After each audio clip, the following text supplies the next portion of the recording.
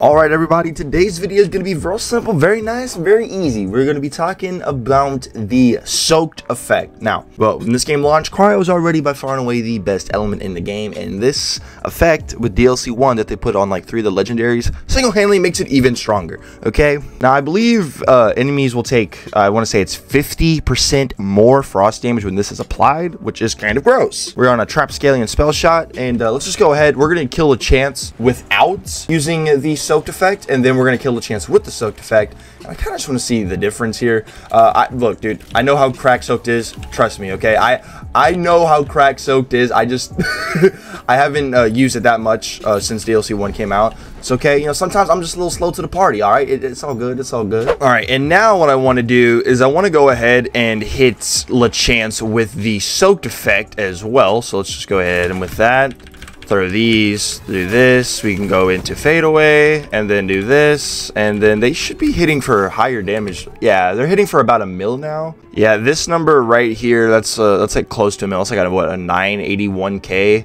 That R on the critical is getting really annoying, but you see the 8-1, and then as you zoom in, you can see how the 9, here, let's fucking, yeah, there it is. All right, now we are going to do another, we're going to do Parasite. We're not going to put the, the soaked effect on, though. Go ahead, do this number, and throw these. Let's see where our, our pixies are kind of hidden for. And for about 254-ish K, uh, 258k, so about like what 250k ish, give or take. Not too bad. And then obviously when it goes on cryo uh, or goes on a bone, it does way more. Like at what's that, 500k, 561k.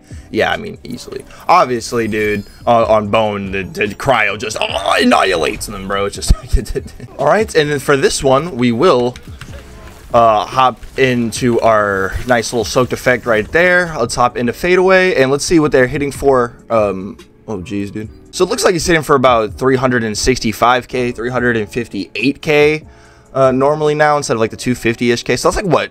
I want to say a 50-ish percent increase. I don't know the exact percentage off the top of my head, but it looks like it's around 50%. That's what it's looking like. Just like, and oh shit, let me throw some more of these, and then let's see how much 70, 70, 754k. 899 i mean jesus christ dude. I definitely would like to say that it's probably around the 50% number. I'm not going to say what the exact percentage is set in stone because i just don't know the exact percentage. Regardless so it's still really freaking dude anything that buffs cryo in this game is obviously going to be super good. All right i guess we'll uh we'll hit up banshee now. I don't like this bitch. Did i hit her?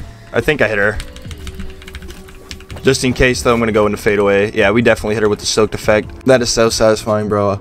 Just destroying Banshee like that, super satisfying. Yeah, soaked OP, huh? Alright, so I think Drill uh, will be a nice uh, boss to do this on. You're the know, big guy. You can, what they call, get soaked.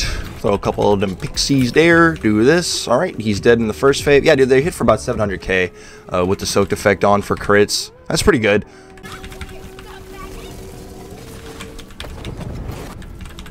Jeez, dude. like, the soak just allows for these pixies to, like, tap and crit for a million, dude. That is, like, way too casual. Like, look, that, that is... That is ridiculously casual, dude. There's a mill there. There's a mill there. There's almost a mill there. I mean, I'm not trying to say this.